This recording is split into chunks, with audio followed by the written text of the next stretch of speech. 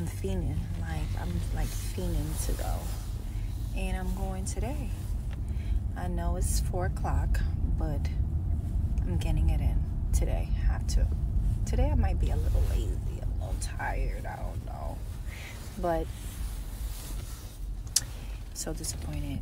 Like I haven't been to the gym like in a week, probably a week and a half to tell you the truth. To be honest, that's how busy I've been. This Christmas, this month been insane, but it's been good. It's been so good, so good, and I'm so happy. How long I haven't been in the gym? uh, a couple weeks. No, a week and a half.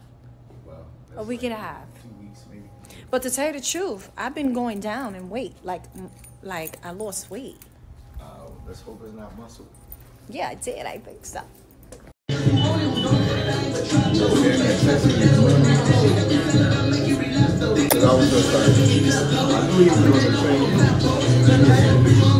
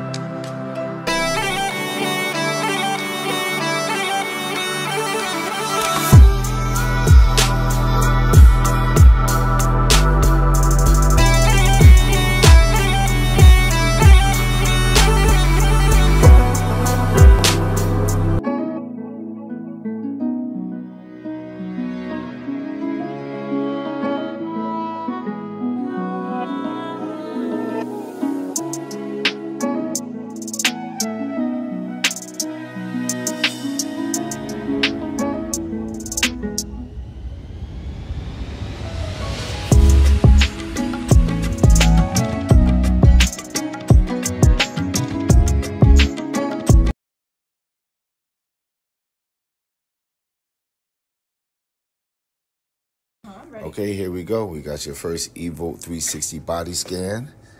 And internally, your body thinks you're younger than what you are. So that's good. Okay, your visceral fat is balanced. Oh, so you're body at seven. is good then. Yeah. Oh, you're wow. already in the optimal range with your body fat percentage. You're at about 28% body fat, Wow. which for women between 20 and 30% is actually really good. So this is all good news. We're looking at your lean body mass in your arms and legs, mm-hmm. your right arms. Everything says optimal. Mm. We just we want to drop down a little bit of body fat, Okay. and that's just for arms. But everything is pretty much optimal. So this is a good scan, and then we're gonna make more and more progress. So I'm trying to get an outfit together, and I don't know what to wear. And I got to take my daughter again to the concert because she was so mad because she missed a whole hour. So told me I got to take her again. So we are going again. Um, but I don't know what to wear because last time I had shoes and I would never wear shoes again to a concert.